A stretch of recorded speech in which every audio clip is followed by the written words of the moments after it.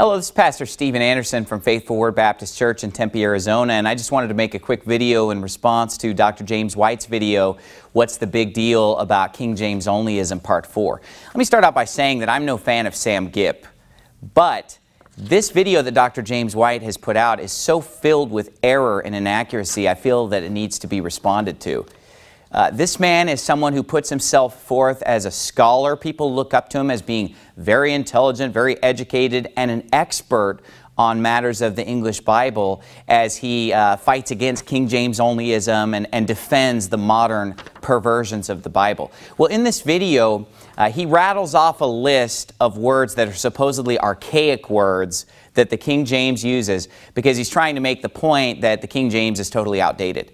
We have abjects, adjure, ado, uh, ambassage, amerce, astonied, axletrees, beeves, besom, bewray, blains, bray, brigandine, bruit, call, cieled, chapter, and choler.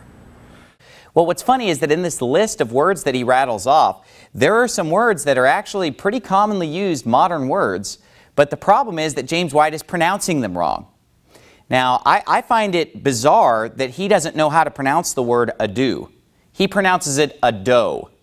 Well, obviously, if you say ado, no one's going to know what you're talking about. But if you say the word ado, that's a common word that people have heard all the time. For example, much ado about nothing. For example, you might go to an event and they'll say, without any further ado, let me introduce to you our, our next speaker.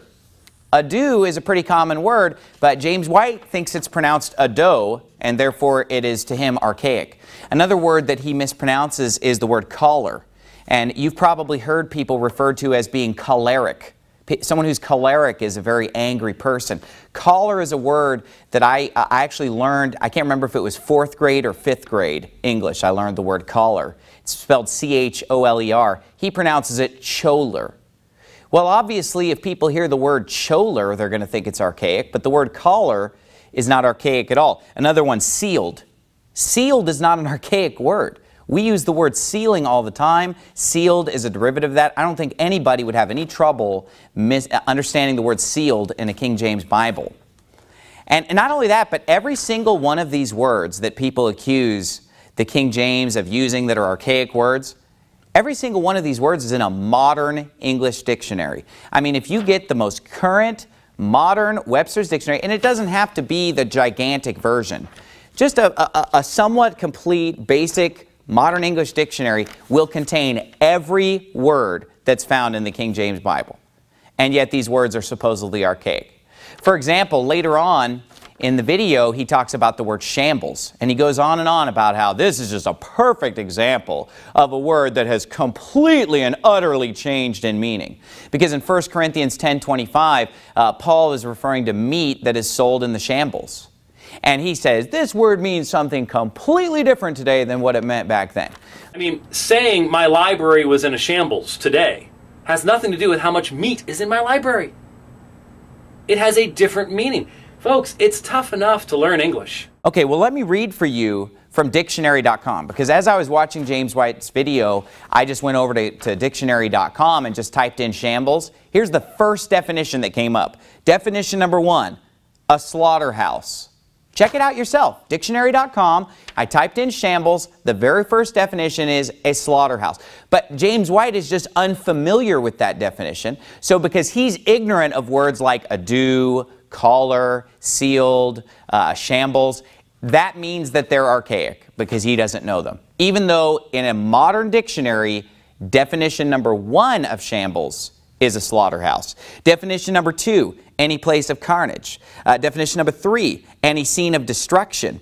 Definition number four, any scene, place, or thing in disorder, for example, her desk is a shambles. Okay, so the definition that James White is familiar with and uses in the video is actually definition number four.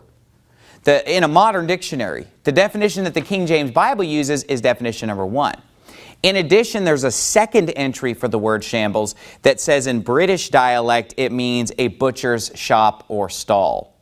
So both the number one American definition and the number one British definition of shambles in a modern dictionary on dictionary.com is either a slaughterhouse or a meat shop or a butcher shop. So again, this is just not true what James White is saying, that this word is archaic. It's not an archaic word. Uh, not only that, but he uses an example about an Ethiopian immigrant saying, you know, this poor Ethiopian, if you give him, you know, the King James Bible and he's just struggling to learn English, how's he going to understand the King James Bible with all these difficult words? Some new believer from Ethiopia that lives in Minneapolis, you give him a Bible and he, he wants to understand what Paul's saying, but English is not his first language. Are you going to give him a translation that will actually communicate to him, or are you give him a translation that's going to leave him completely befuddled and maybe even just dependent upon you? Well, first of all, I could show you a list of all the difficult words in the new versions.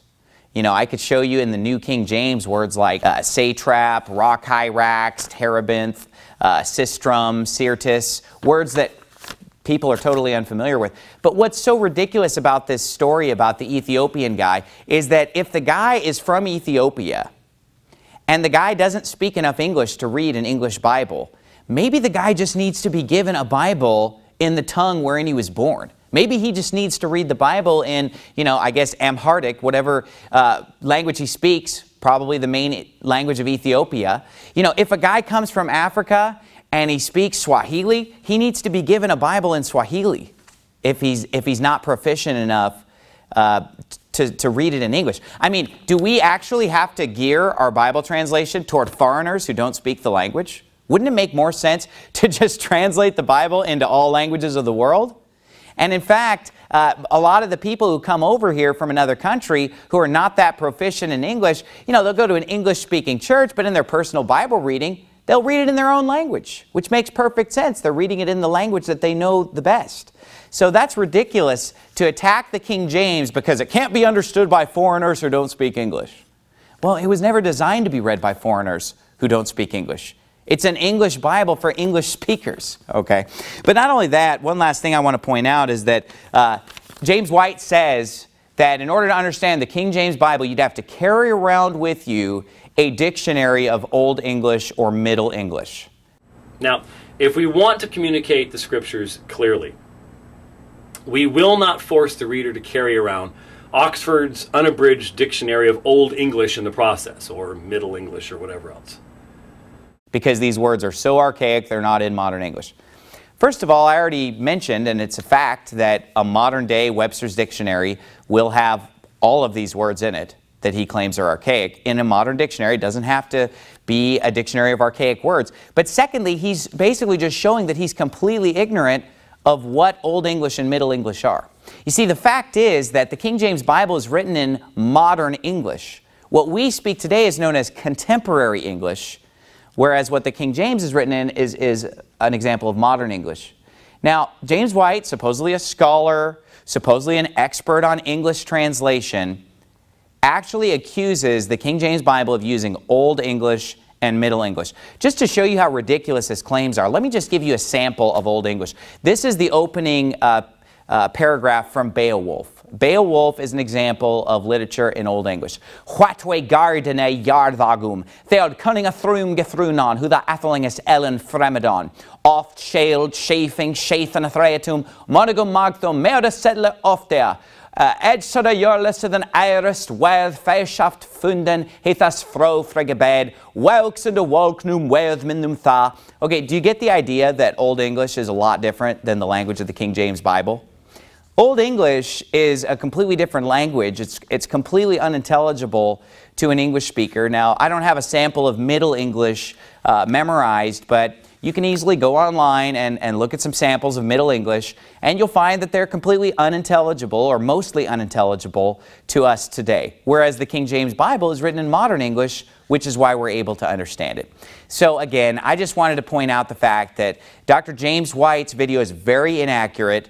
His, his, his grasp of the English language leaves something to be desired if he doesn't know how to pronounce words like ado, choler. He doesn't know the difference between Middle English and Modern English, uh, and, and he doesn't know uh, these basic words that are found in a modern dictionary.